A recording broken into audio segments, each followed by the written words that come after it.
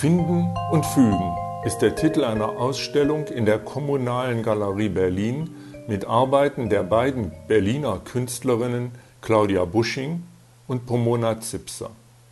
Beide Künstlerinnen verwenden gefundenes Material, das ihnen gewisse Formen vorgibt und das sie zu neuen Gebilden zusammenfügen. Sie experimentieren mit Kontrasten, provozieren mit Widersprüchen spielen mit Überraschungen und Wechseln sowohl inhaltlicher als auch formaler Art.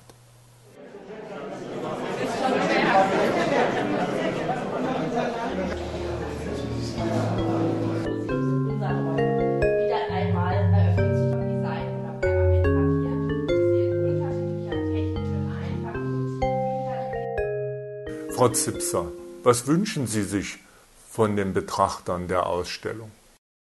Ich liebe es, zwischen den Kunstwerken mit einem amüsierten und vergnügten und mit einem aufmerksamen Blick hin und her zu gehen. Das ist es, was ich mir auch von den Betrachtern dieser Ausstellung wünsche.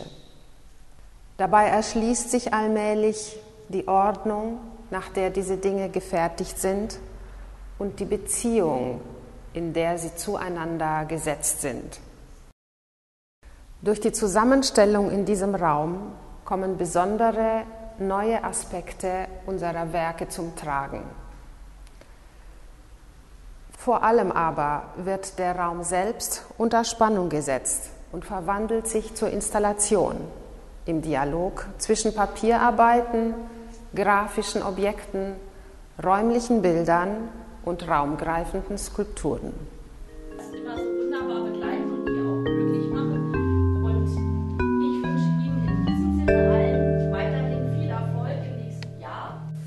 Frau Busching, was bedeutet für Sie als Künstlerin der Titel der Ausstellung Finden und Fügen?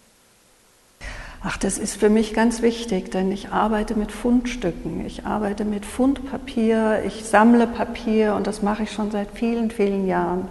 Mir ist es wichtig, dass das Papier eine Geschichte hat, dass es, äh, dass es schon, äh, dass mit dem schon irgendwas gemacht wurde, dass es, dass es Gebrauchsspuren hat und ähm, dass ich nicht auf ein weißes Papier arbeiten muss.